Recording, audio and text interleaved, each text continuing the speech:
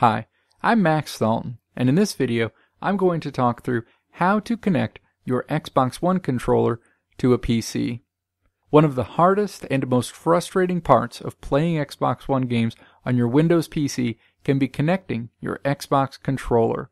You can connect your Xbox One controller to your computer using a specific type of micro USB cable. Additionally, after you connect your Xbox remote to your computer, you can also take advantage of the free Xbox Accessories app offered by Microsoft to easily remap your controller configuration, make sure your controller's firmware is up to date, test the health of your controller, and more.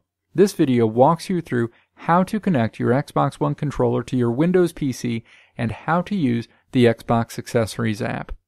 And now, the steps to connect your Xbox One controller to a PC. Step 1. Connect a micro USB cable to your computer. You cannot use any micro USB cable, but you have to use one that can transmit data. If you have a micro USB cable that's built to only charge a device, your Xbox One controller will not be recognized by your computer. Step 2. Connect your Xbox One controller to your micro USB cable. The connector for the micro USB cable is on the top part of the back of your controller a message will likely appear in the lower right corner of your screen informing you that your computer is being updated to support your device.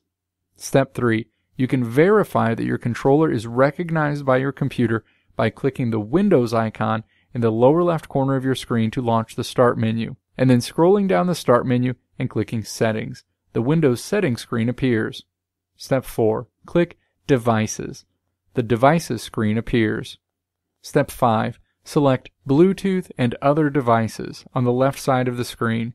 You'll see controller listed beneath other devices, indicating that your Xbox One controller is recognized and capable of being used by your Windows computer.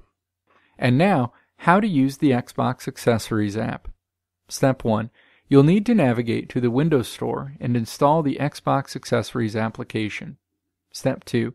After installing the Xbox Accessories app, you can access it by clicking the Windows icon in the lower left corner of your screen to launch the Start menu, and then scrolling down the Start menu and clicking Xbox Accessories. The Xbox Accessories app launches.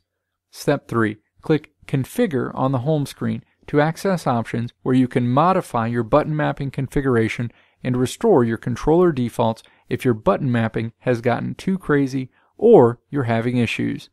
Step 4. Alternatively, if you click Device Info on the Xbox Accessories home screen, you'll arrive at a screen where you can easily update the firmware on your Xbox gaming controller if an update is available, see your battery level, or test the vibration component of your remote control to make sure it's still working.